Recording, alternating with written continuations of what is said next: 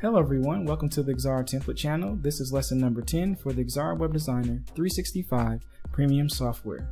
In this lesson, we're going to expand upon the things that we talked about in the previous tutorial, which is a stick at top object. In this case, we're going to be dealing with the navigation menu as a stick at top object, and we're going to show you how to do some things with that. So let's go ahead and get started. The first thing that you want to do is make sure that you have a navigation menu in your workspace. In this case, I created a custom navigation menu. If you don't know how to do that, you can watch one of those videos. I've already created one on how to do that, and I'll leave a link in this video to help you uh, go through that process if you're not familiar with how to do that.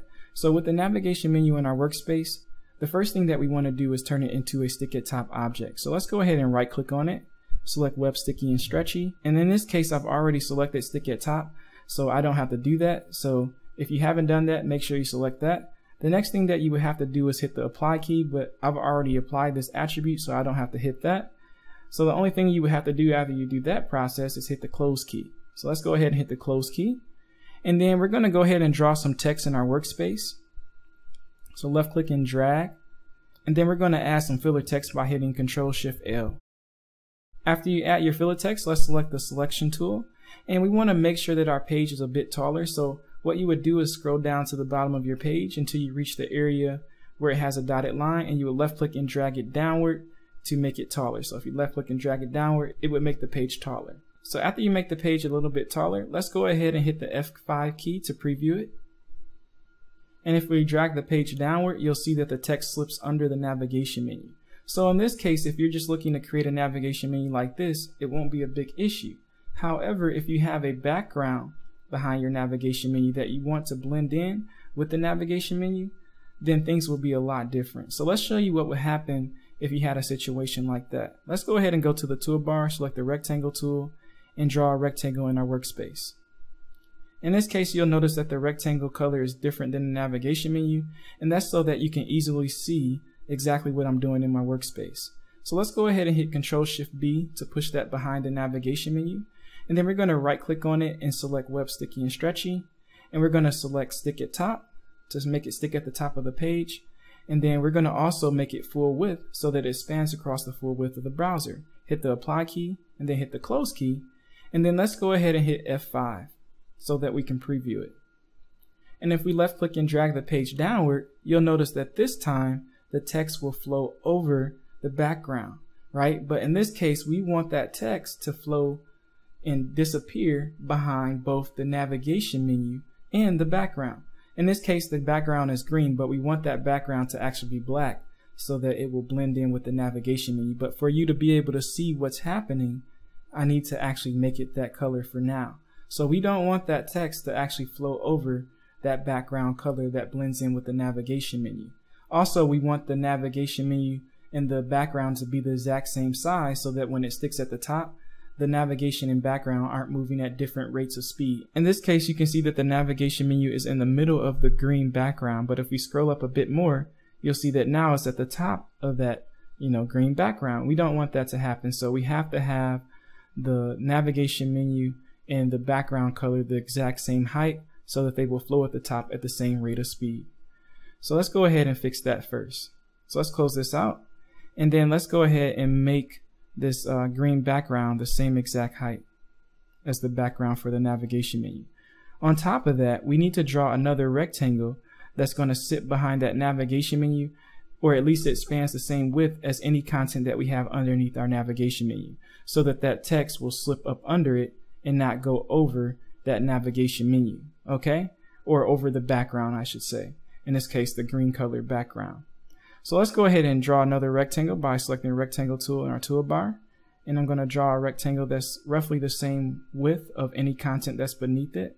In this case, just the text. In this case, I'm going to make it the color gray by hitting Control E to bring up the color editor and changing it to gray. And then we can close that out and hit Control Shift B to push that behind the navigation menu. In this case, I'm going to right click on it and select Web Sticky and Stretchy. And I'm going to select Stick at Top and we're going to hit apply and close. And basically what this gray box is going to function as is something for the text to slip up under so that it doesn't go over the green background.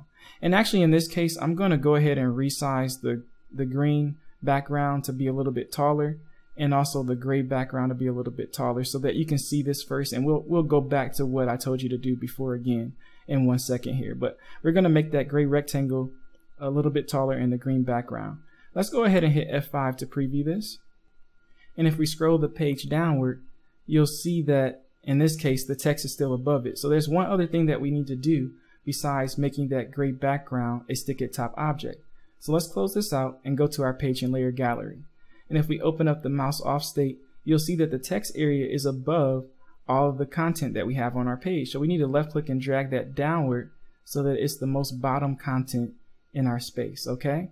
And let's go ahead and hit F5 to preview that again. And this time if we scroll the page downward, you'll see that the, the text slips underneath the gray box, okay? It doesn't slip underneath the green box actually, but if we make it slip under the gray box, what this means is that when we change the color of that gray background, it's going to appear that it's slipping under the green background. Okay. In this case, the full width green background that we created. So let's go ahead and change that to the same color. In this case, we're going to change it to green and then we'll close that out, hit F5 to preview it. And if we scroll the page downward, you'll see that it simulates the idea that this text is actually slipping underneath the green background. So the final step that we have to do now is actually change the color for the background in that green rectangle to match our navigation menu. So let's go ahead and hit Control E. And then we're going to select the color picker and select the same color as our navigation menu. And then we're going to select the, the green background and we're also going to make that the same color as our navigation menu. So let's go ahead and close that out, hit F5 to preview it. And if we scroll the page down, you'll see that now the text goes underneath it. Now you might be wondering, is it actually going underneath that? I can guarantee you it's actually going underneath it and you cannot see that text. And the way that I can prove that is we can change the color of the text to maybe red and close that out, hit F5 to preview it. And if we scroll the page downward, you'll see that the red text slips underneath both the background, well, not actually under the background, it slips underneath the, the rectangle that we created, simulating the idea that is slipping underneath that, that full width background, okay? So the only issue that we have to fix now is making sure that both the navigation menu and the, the background and the rectangle that we created are the same exact height so that it, it moves at the same rate of, of speed, okay? So let's go ahead and change both those objects back to a different color so that we can see what they look like. Okay, in this case, I'm going to make that a, a slightly different red color. And we're going to go ahead and resize that rectangle down to be the exact same height as the navigation menu And we're also going to resize that down as well. And now all we have to do is hit Control E for each object once we select it and change the color to match the navigation menu. So I selected the gray rectangle or the light red rectangle in this case and I'm going to select the color picker and make it the same color as the navigation menu. So now if we hit F5 to preview it and we scroll the page down in one second here, we scroll the page down, you'll see that now everything looks nice and neat. It slips nicely under the navigation menu and also the text looks good. You know, you can't see it, you know, overlapping any content in regards to the navigation menu. Okay. And if we place our cursor over these navigation buttons, they do change colors because I applied a mouse over state, but it looks really nice and clean and professional. You don't have any overlapping issues. So that is how you create a navigation menu that will be full width, stick at top, and all the objects in your workspace will slip under it nice and neatly. So I hope that you guys found this video to be helpful and give you a more in-depth uh, analysis on how you could apply this to a custom navigation menu rather than just a standard ordinary object. So if this video was helpful, don't forget to embed, comment, share, and subscribe. And also be sure to check out our Patreon page.